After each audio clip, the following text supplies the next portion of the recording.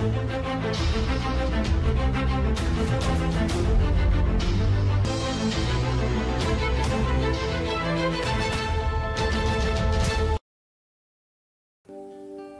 taubatnya artis Syam al-Barudi. Kisah ini diambil dari buku yang ditulisnya sendiri dengan judul Rihlati minal dulumati ilan nur Petualanganku dari kegelapan menuju cahaya Pada satu kesempatan wawancara dengan wartawan ia menjelaskan panjang lebar sebab-sebab mendapatkan hidayah Petualanganku berawal dari masa remajaku. Ayahku, dengan karunia Allah, adalah seorang yang religius, walaupun menjalankannya biasa-biasa saja. Begitu pula ibuku, semoga Allah merahmatinya. Aku masih menunaikan sholat, meskipun tidak disiplin. Terkadang, beberapa waktunya aku tinggalkan begitu saja, tanpa merasa berdosa karena meninggalkan kewajiban sholat. Sayangnya, aku tidak mendapatkan pelajaran agama yang cukup di sekolah, karena pelajaran agama bukan pelajaran pokok dan pengetahuan mendasar dibanding dengan ilmu-ilmu duniawi lainnya. Ketika aku menamatkan sekolah lanjutan, tingkat SMA, aku bimbang antara meneruskan ke fakultas hukum atau studi seni rupa. Namun akhirnya, aku memutuskan masuk ke Akademi Seni Rupa jurusan akting dan peran. Tetapi aku tidak sampai menamatkan studi, karena aku sudah cukup menguasai ilmu akting dan peran. Hanya beberapa saat saja hidupku seperti mimpi.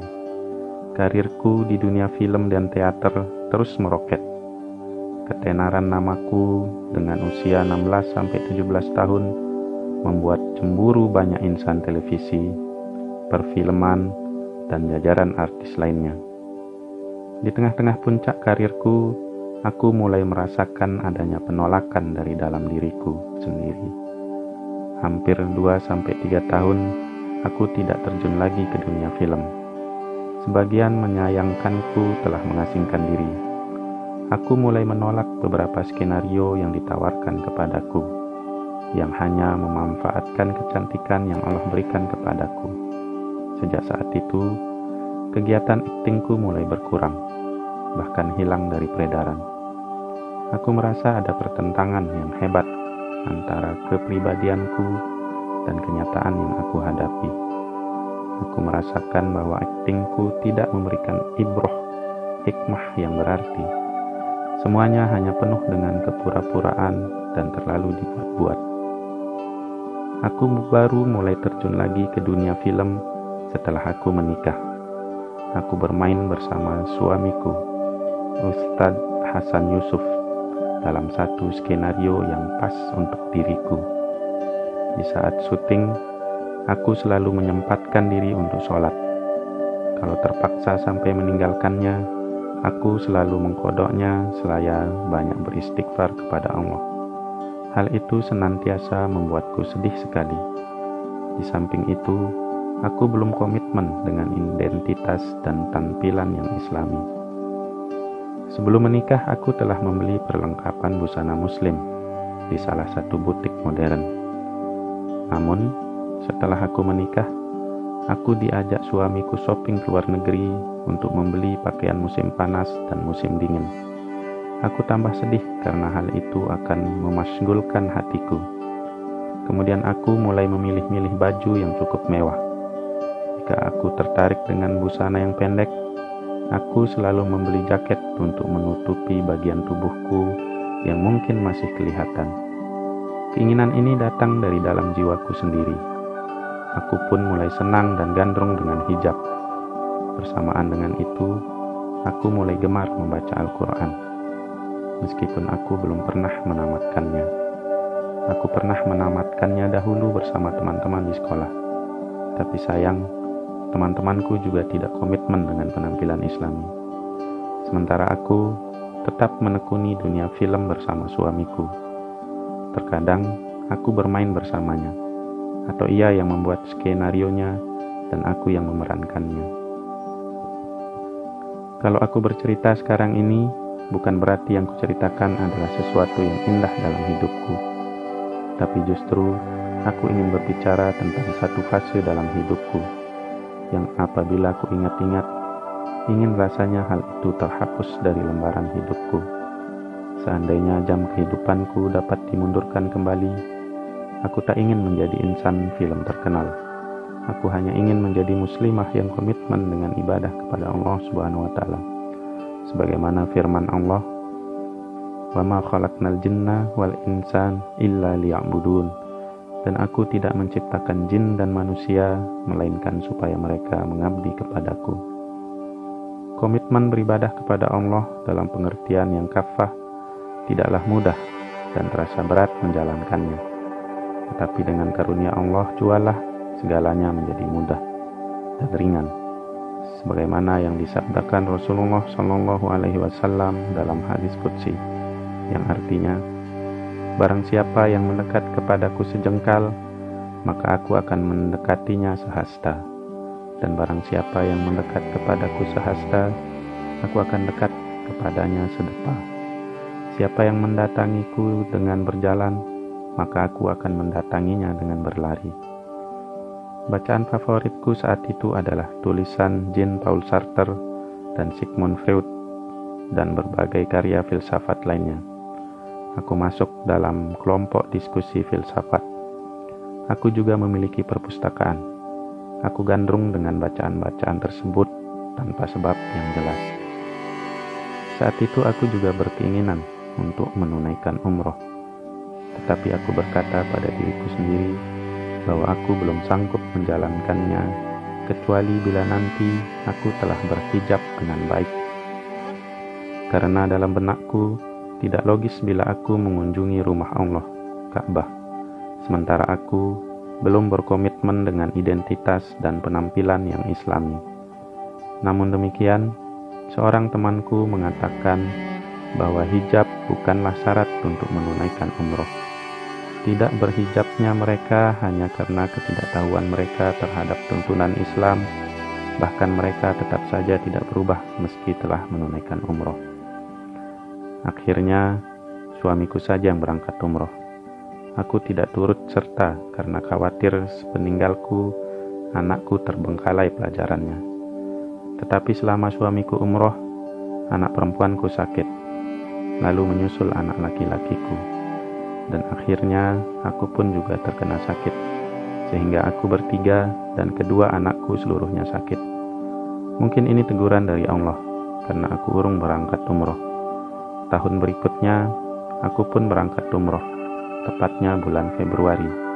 Bulan Desembernya, aku baru saja kembali dari Paris dengan oleh-oleh gaun dengan model terbaru dari salah satu butik terkenal.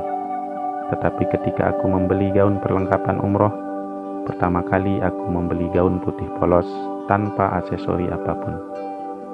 Tetapi ketika aku kenakan gaun itu, bahkan tanpa make up di wajahku, aku melihat diriku justru lebih cantik. Baru kali ini aku bepergian tidak dibarengi dengan rasa was-was dan khawatir dengan anak-anak yang kutinggalkan. Padahal, kepergianku sebelumnya selalu dihantui rasa cemas terhadap anak-anakku. Bahkan, aku sering kali mengajak mereka turut serta. Ketika aku menginjakkan kakiku di Masjid Nabawi, entah mengapa tiba-tiba aku ingin membuka mushaf meskipun aku tidak banyak memahami maknanya. Tiba-tiba, teman serombonganku menegurku. Apakah kamu mau berhijab? Entahlah, aku serahkan semua ini kepada suamiku. Apakah dia akan menyetujuinya atau tidak? Jawabku. Sementara aku tidak tahu kalau tidak boleh taat dan tergantung kepada siapa pun dalam hal maksiat kepada Allah Subhanahu wa taala. Di Masjidil Haram, aku dapati beberapa akhwat muslimah mengenakan hijab, sementara aku lebih mengutamakan iktikaf sambil tilawah Al-Quran. Suatu ketika, saat keberadaanku di Masjidil Haram antara Asar dan Maghrib, aku bertemu dengan seorang akhwat dari Mesir yang menjadi warga negara Kuwait, namanya Arwa. dia membacakan untukku satu puisi yang ditulisnya sendiri. Tiba-tiba aku menangis. Aku merasa puisinya sangat menyentuh perasaanku saat itu yang selalu ingin segera berhijab. Tetapi banyak orang berkata kepadaku, Tunggu, tanyakan dulu ke suamimu. Jangan terlalu terburu-buru. Engkau kan masih muda dan seterusnya dan seterusnya. Tapi keinginanku semakin menggebu setelah mendengar bait demi bait puisi Arwah. Adapun puisinya sebagai berikut. Mereka berkomentar tentang hijabku. Allah telah melindungi agamaku. Rasa malu, perhiasan hidupku selalu. Apakah karena aku berpaling? Banyak orang mencemoohku. Berapa banyak celaan ku dapati dari mereka. Tidak, demi Allah aku tak peduli dan menjadikan aku cinta keagungan. Kemuliaan ada harta kekayaanku dari kesenangan dunia yang sirna. Seolah penampilanku hanya mencari sial, baik lewat pembicaraan maupun pertanyaan. Aku selalu menangis manakala mengingat puisi ini. Sangat menyentuh kenyataan hidupku. Setelah itu, aku menjalankan manasik umroh dengan melakukan tawaf dan sa'i. Setelah selesai, malam itu aku tidak bisa tidur. Aku merasakan sesak dan gelisah di dadaku.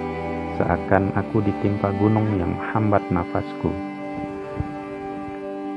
Seakan dosa-dosaku selama menjadi insan film dengan segala aktingnya telah mencekik leherku. Kemegahan dunia hasil profesiku yang selama ini kunikmati seolah seperti kain melilitku. Tiba-tiba ayahku yang ikut umroh bersamaku menanyakan kepadaku tentang kegelisahanku. Lalu aku katakan kepadanya, aku ingin pergi ke Masjidil Haram sekarang. Padahal saat itu telah larut malam. Tidak biasa bagi wanita ke masjid Aku pun minta ditemani ayahku. Sesampainya di haram, aku sholat tahiyat masjid. Setelah itu, aku melakukan tawaf. Di putaran pertama, Allah memberikan kemudahan kepadaku mencium hajar aswad. Ketika itu doaku hanya satu, untukku, suami, anak-anakku, dan seluruh keluargaku agar diberikan kekuatan iman. Tak terasa air mataku berkuris terus mengalir tiada putusnya. Panjang putaran toaf, aku tak henti-hentinya memanjatkan doa tadi. Setelah selesai putaran yang ketujuh, aku sholat di dekat Hajar Aswad dan menciumnya. Aku juga sholat di dekat makam Ibrahim alaihissalam. Selesai sholat, aku membaca surat Al-Fatihah.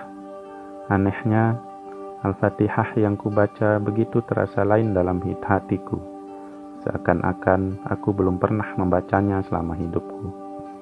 Aku merasakan keagungannya. Tangisku semakin bertambah dan perasaanku bergoncang. Di sela-sela tawaf tadi, seakan para malaikat berada di sekeliling Ka'bah menungguku. Aku belum pernah merasakan keagungan seperti ini dalam hidupku. Kemudian, aku sholat lagi dua rakaat menjelang fajar di Hijr Ismail. Setelah itu, ayahku memberi isyarat kepadaku agar segera pindah ke tempat sholat khusus wanita. Saat sholat fajar, aku merasakan diriku telah berubah dan telah menjadi manusia baru yang sempurna. Beberapa jamaah wanita bertanya kepadaku, Apakah sekarang engkau berhijab, wahai ukhti Syam? Dengan izin Allah, jawabku singkat. Sejak saat itu, aku benar-benar merasa telah berubah Bukan hanya penampilanku, tapi juga suaraku. Ketika berbicara terasa berubah total. Itulah yang terjadi pada diriku. Sepulangnya dari umroh, aku kembali ke Mesir. Setelah itu, aku tidak pernah melepas jilbabku. Setelah enam tahun aku dilanda keraguan untuk merubah gaya hidupku, aku hanya berdoa kepada Allah agar aku, suamiku, keluargaku, dan umat Islam seluruhnya mendapatkan husnul khotimah di akhir hidupnya.